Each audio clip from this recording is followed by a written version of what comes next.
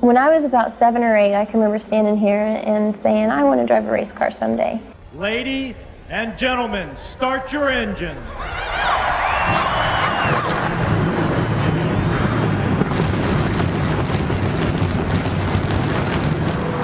I don't know if it's the freedom. You can, you know, just put the hammer down and go as fast as you can go.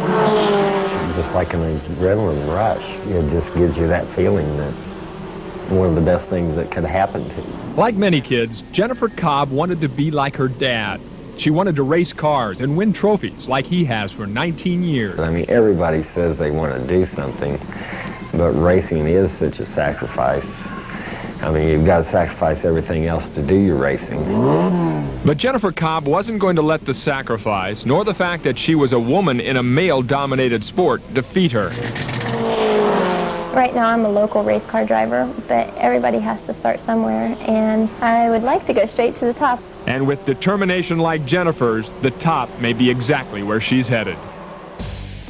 To get from where I was at the grassroots level of NASCAR racing to where I want to be,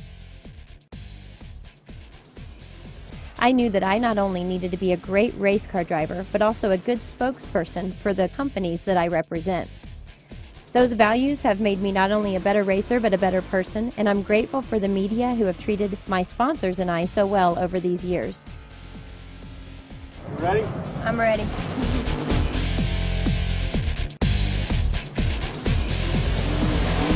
Jennifer Jo Cobb finishes a strong ninth. Obviously, I want to, you know, try to go up further, and, and you know, I want to race.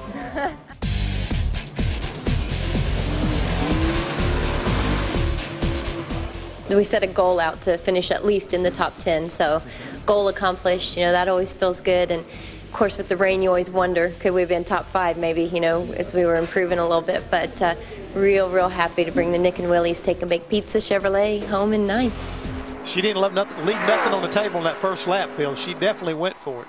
She had that big slide over there, and mm -hmm. she kept kept her foot in it. Obviously, look at this tracker now, running about a tenth of a second better than Mike Harmon's lap. Let's see if she can get through three and four this time. Looks like pretty how, good this how time. How exciting would it be to be able to be on a provisional pole, at least for a short period of time? Hometown girl here. She's going to, I'm too. telling you right now, that's a that is a much much better lap. Great lap much, for much Jennifer Jo Cobb. 31.5. Apron caused to get loose and shot up in front of Johnny Chapman.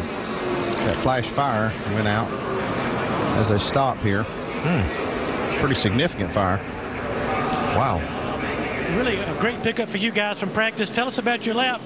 And have you had, had time to assess the damage on this car? If you make the show, what's going to be the plan? I think it's okay. Um, we have this great graphic sponsor called Horse Graphics, so we're going to need some 13 sent to Phoenix, please.